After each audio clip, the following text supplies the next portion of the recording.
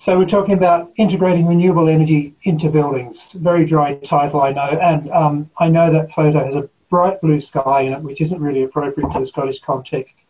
But basically, finding uh, photos of renewables with grey clouds behind them is pretty difficult. So my name's Ranald Boydell. I'm a registered architect in Australia, but currently living and working here in the Scottish borders.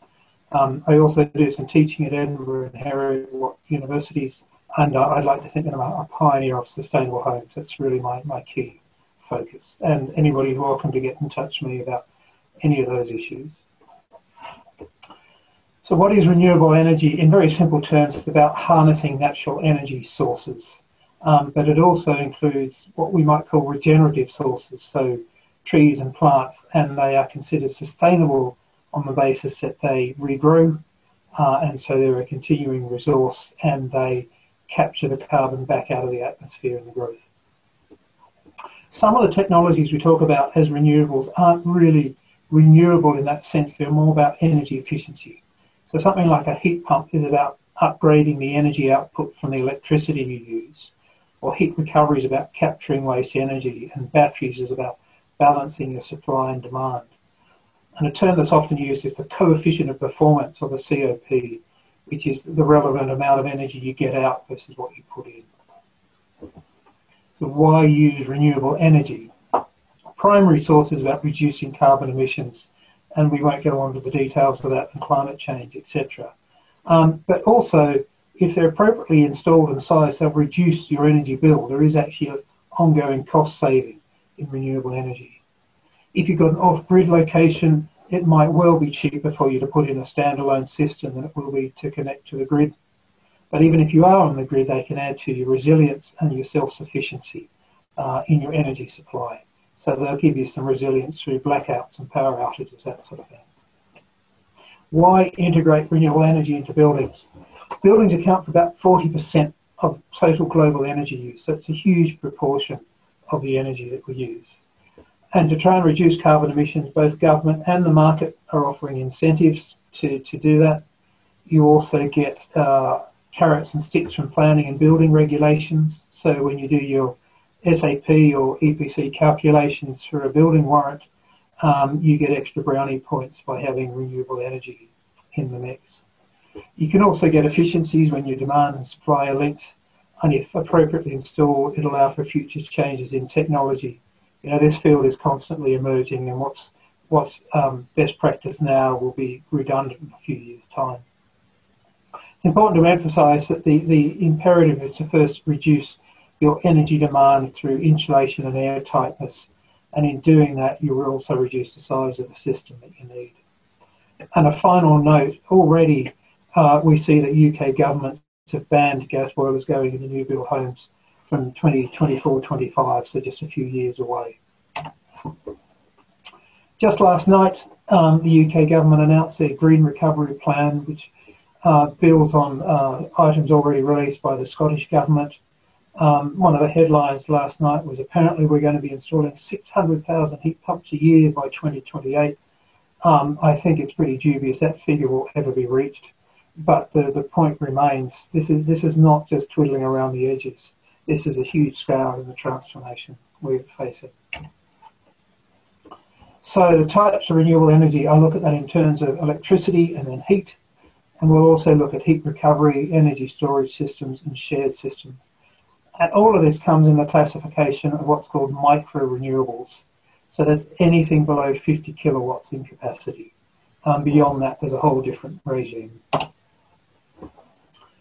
First on electricity, you've got three options, solar PV, wind turbines or hydro schemes. Um, in terms of building integration, wind turbines and hydro um, aren't generally an issue. They might be on isolated sites. Um, so we won't talk further about those tonight. We'll look mostly at solar PV. So a standard panel is about 1 by 1.7 metres in size and the average output at the moment is 300 watts, 0.3 of a kilowatt. And that has improved radically. Um, when they were first in common usage 10 years ago, it might have only been 200 watts a panel or 180 watts a panel. And the very best performance you can get now is 350, 380 watts per panel. And the point about this is for a standard single phase connection, the most that the power companies will let you install is 4 kilowatts for the phase. So that equates to about 13 panels. If you've got three phase connection, you can get up to 12 kilowatts. That's about 40 panels. However, if you look at a typical new build, they'll probably only have something like three or six panels on the roof. So that's only using one or two kilowatts. So, so they're not even using the capacity they could for a single phase. And the other constraint on this is the inverter, which is the, the bit of kit that you need that goes between the, the panels and the, and the grid. Um, and they will have sizing constraints, and that might limit, depending on the inverter you've installed, it might limit the number of panels you can add to your system. So typically panels are put up on, on surface mounted battens or frames. Um, and they're all very obvious up on the roof. They just go on top of your existing roof cladding. Um, however, more and more we're seeing integrated panels going where you emit the roof covering underneath um, to the extent that the whole roof can be covered without any standard roof tiling on it at all. Um, interlocking roof tiles were also something coming to the market uh, five or six years ago um, they haven't really made it big time over here. I think they're probably bigger in the States. Um, but for all of these things, from the contractor's point of view, you're working at heights. Um, and there are all sorts of issues, health and safety issues, of course, associated with that. And that's one benefit of having a, a standalone or ground array system. Uh, by standalone, you could put it on a on a terrace or, or a pergola, you know, some low level system, and that avoids you working at height. So jumping across to heat, we've got another three. We've got heat pumps, biomass boilers, and solar thermal. And uh, that's a pretty looking biomass boiler we've got in the middle there, but we'll, we'll look at some more rugged ones as well. Um, first starting with heat source, because this is by far the most common um, sort of system coming in. A heat pump's really a fridge working backwards. That's all it is. It's, it's, it's old technology is just being applied in a new way. And just as uh, a fridge has got the coils on the back of it as the heat transfer medium, um, so we need a source for the heat transfer, which for an air source means a, a fan, fan coil unit outside the building. For ground source, it means uh, a borehole drilled down or loops put into a, a, a trench about a metre deep. Um, or for water source, you can get it from any uh, surface water, river or lake, or you can get it from an underground aquifer. Um, for all of these uh, sources, they come into the same unit. And that unit can be just a wall mounted system, not very different in size to a, a current gas boiler, just hung on the wall. Um, but a lot of the time, they're an integrated unit, which is something about the size of a fridge. And that's got the hot water cylinder and all of the control integrated into it, which means the site installation uh, is much more straightforward. For biomass boilers, you've got, again, three different options. You've got pellets, which is a sort of chicken feed in, in, in size, but it, it's uh, sawdust effectively. And you can either get those in individual bags in bulk, which means you've got the option of manual or mechanical loading. Most homes it'll just be manual loading where you literally pour a bag into the top of the boiler. The example there is on a farm near Heriot. Um, it's just an external location. It shows you you don't need to have anything fancy about this. It doesn't have to be in a shed. It can just be on the side of the house, somewhere that you can readily integrate it into your um, central heating system. A log boiler, very different kettle of fish. This is where you put whole logs in, anything up to a metre long. Uh, you stack those logs in.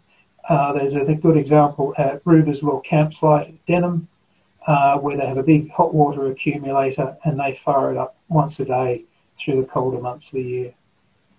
The final form is a, is a chip boiler, uh, and that is where you have big wood chips that go into some sort of a silo and bin. Um, you really need a significant size system for that, and you need mechanical loading um, to load them into the bin. Um, if you've got an estate where you've got a lot of outbuildings you can link together in a district heating system, um, chip boilers are great ways to go if they've got their own uh, woodland on site where they can source the timber from, ship it straight into the system. Some farms and borders also have straw burners. I know Legerwood Farm has their own grain dryer, and they've got one where they literally just stack um, round straw bales into it, standard round straw bales in, and they burn from there. Solar thermal, we think of this mostly for hot water, and you've got two different forms the flat plate collector and the evacuated tube, which sounds terribly unpleasant, I always think, but they are much more efficient in their operation. And there are some coming on the market now which uh, don't include antifreeze and have other ways of operating that make them particularly suitable um, for a cold climate. And that's one of the misconceptions about solar thermal. It's not just for hot climates um, it does work in, in cool climates like we have here as well. Again, the hot water cylinder you can either connect to your standard internal unit or you can have a roof mounted unit as you can see in that image. The other thing which isn't used often in the UK but the solar hot air collectors which can just be mounted on the side of a house and they effectively preheat the fresh air supply coming into the house. Heat recovery is another uh, thing that's becoming much more common. and It's a way of capturing um, outgoing heat and transferring it to the incoming supply. For air, that's through a mechanical heat recovery ventilation system, which, as you can see in the photo, is, is basically just big box of tricks where you've got a series of ducts coming in from the house, typically from your laundry, kitchen, and bathroom. So instead of having individual extract fans, you'll have a ducted system coming in. They capture the heat from that air and transfer that into fresh air supply coming in, which they'll pump back into those living rooms and bedrooms. Um, and for passive house, the uh, the very energy efficient house standard, um, it's a mandatory item. The other sort of heat recovery is wastewater heat recovery, and you can see that really charming photo there of a, of a, of a very high quality installation um, but it's very simple. It's just taking the water that comes out of the shower or the bath, it's running it through a series of, of, of pipes where the heat is allowed to transfer into the incoming water supply. Um, and it's of most value there on a shower where you, the hot water is running out literally at the same time that your cold water is running in. Um, it's much easier to install in a new build uh, where it can be integrated into the system. It doesn't achieve a lot in the overall terms of energy efficiency, but every little bit helps, and it does actually get you some extra brownie points for the SAP calculations uh, for a new build. Um, just a sideline in the borders, there is a commercial wastewater heat recovery system at the Borders College campus where they capture the heat from the Scottish Water sewer so all the water coming through the sewer in Galashiels goes through that supply and they capture the waste heat from that which provides 100% of the heating to the college campus. In terms of energy storage, um, batteries, Tesla, there are other brands available. Um, what that means is that if you've got solar panels on the roof, instead of using maybe 30% of the electricity you generate, you might be able to use 80 or 90% of the energy you generate. So it's a much more value to you to use it yourself rather than selling it to the grid. And that's where batteries um, have real benefit. And again, their prices have plummeted uh, and are plummeting now. There are also heat batteries where you can store heat through phase change materials so they can be linked to other sorts of uh, renewable energy generation. Um, and on the bigger scale, there's what there's called thermal storage, which is effectively putting your heat pump into reverse so you're pumping heat back into the ground to store it up for the winter months. Um, and what that also means is you can get cooling in your interior using that same heat pump system. Very quickly on what I call shared schemes, so district heating, that's where you've got a central heat source and a series of flow and return pipes going out to individual buildings. All you need is a, is a very simple plate heat exchanger in each building to transfer the heat it then connects into your existing um, wet radiator system. Um, it's good for rural, rural building groups um, or where you've got mixed use development where you might have a mix of, of residential use as well as some commercial use. Um, great if you've got a heated swimming pool, something like that as well.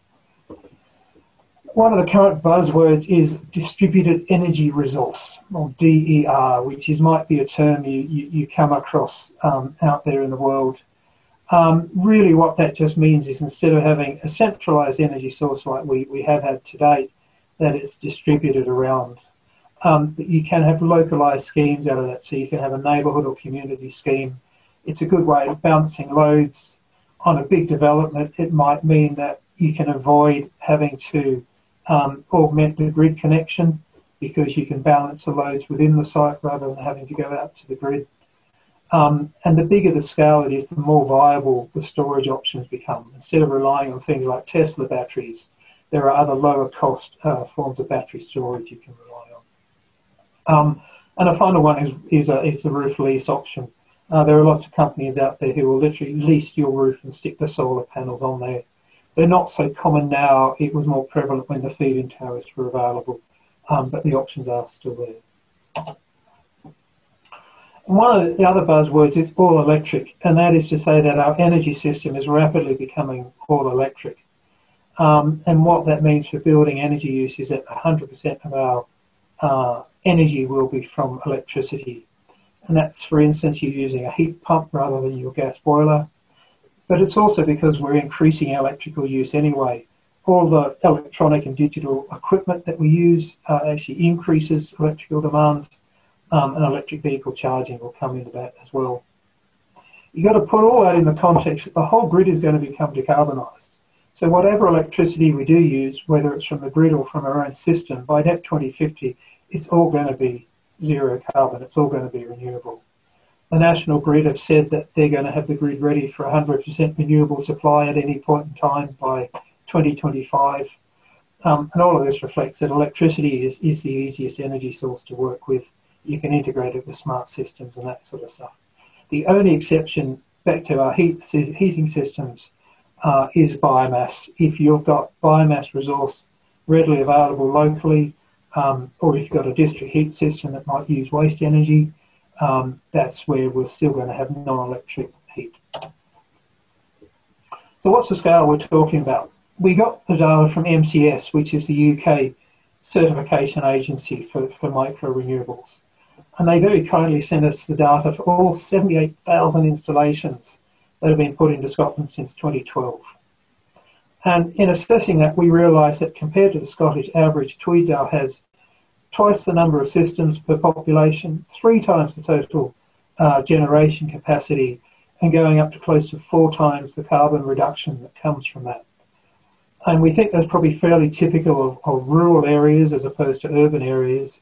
But nevertheless, we think that provides really strong encouragement for contractors in Tweeddale to know that demand already exists, and that's only going to grow in the transition to, to zero carbon. Funding for that, um, well, there was the feed-in tariff regime. Now that closed in March 2019, but most of the panels you'll see up on roofs now will be benefiting from the feed-in tariff, and that goes for a 20-year lifespan. So they get they get money back from that over a long period of time. But what has come into place since the start of this year is what's called the Smart Export Guarantee. And that means that the energy companies have to pay you for any money, any energy that you sell to the grid. Um, it used to be they didn't have to pay you, you were just obliged to feed it out anyway. And that is now averaging about five and a half pence per kilowatt hour, whereas we might be paying 12 or 15 pence per kilowatt hour for energy that we buy. So it is a reasonable percentage um, of the supply versus demand. Um, in terms of heat, there's the renewable heat incentive. For homes, that's going to close in March 2022, so there's still plenty of time to get systems in on that. The non-domestic scheme closes March next year, so that's pretty close. Um, and if a project hasn't been initiated already, you'd be struggling to get it in by that deadline for the non-domestic In terms of Scottish Government, um, there's the Home Energy Scotland scheme that has a range of different grants and low or interest free loans, um, whether for vulnerable households and tenants or for private homeowners and landlords. And particularly private landlords, they are under obligations to increase the energy efficiency of their houses to get an EPC of C or better. Um, and so there will be um, the necessity for private landowners to upgrade their buildings. There's also something called the Energy Investment Fund, um, which provides funds to community and commercial projects, and that's ongoing at the moment. Um, of course, there are lots of other things coming through. Um, the Green Recovery Grants are likely to result in other sorts of funding being available. So, a case study. We picked this out from the MCS data that we got. So, this is a, a new build in the Tweeddale area that was done five years ago now.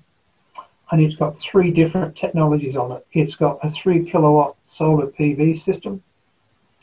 It's got a one and a half kilowatt solar thermal system.